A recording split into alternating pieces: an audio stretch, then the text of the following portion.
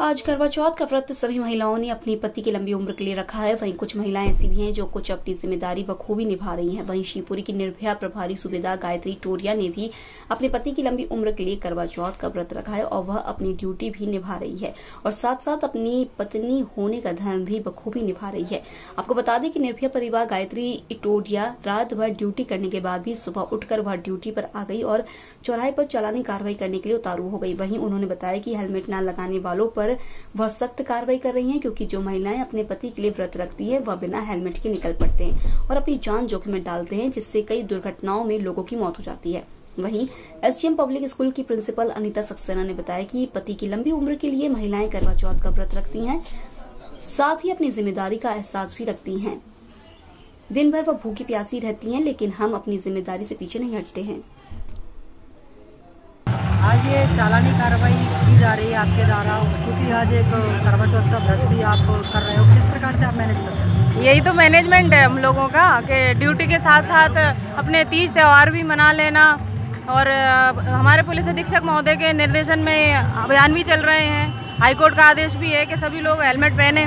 तो हमारी तो ड्यूटी है, मैं तो नाइट गश्त करके अभी दोबारा आ गई हूँ, कि लोगों को एक अच्छा मैसेज भी मिले कि काम अपनी जगह है और हमारे व्रत तीज त्यौहार अपनी जगह है। दोनों में बैलेंस बिठा के काम करना हमें आना चाहिए।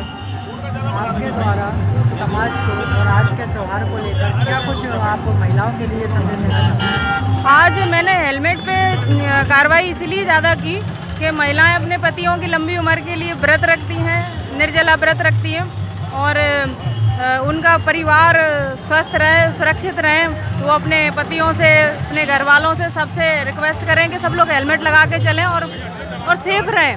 और बाकी मेरी तरफ़ से सभी भाइयों बहनों सभी माताओं बहनों को करवा चौथ की हार्दिक शुभकामनाएँ। मैम आज करवा चौथ का निर्जला व्रत है और साथ में आप स्कूल भी देख रहे हैं। कैसे मैनेज कर रहे हैं आप? हाँ आज मेरा करवा चौथ का व्रत है।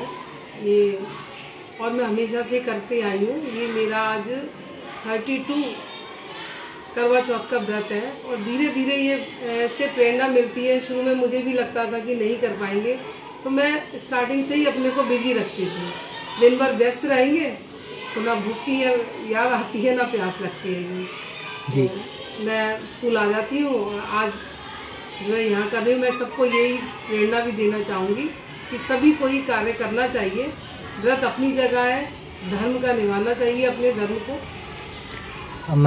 स्कूल में महिला स्टाफ भी है उनको क्या आप संदेश देना चाहोगे? क्योंकि कई बार कुछ ऐसा होता है कि महिला स्टाफ छुट्टी के लिए भी आपको बोलता है तो आप ऐसे कैसे मैनेज करते हैं इस चीज़ को?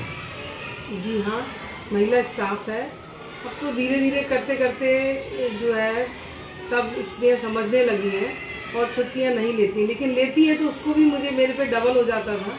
क्लासेस भी देखनी पड़ती थी और अपने प्रिंसिपल का कार्य भी करना है, क्योंकि जिसने छुट्टी मांगी उसको देना तो है ही। तो उसके वो भी हो जाता था हाँ वीकनेस तो आती है, लेकिन कार्य मैनेज हो जाता लेकिन अब सभी टीचर्स जो स्त्रियाँ हैं, हर जगह वर्क कर रही हैं, व्रत भी कर रही हैं तो सभी लोग मैं जानती हूँ अच्छे से मैनेज कर रही हैं स्त्रियाँ। तो छुट्टी